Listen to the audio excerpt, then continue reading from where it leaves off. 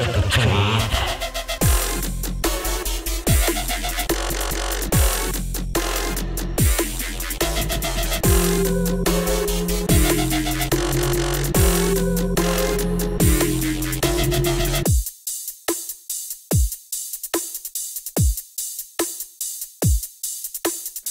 it's a me, I love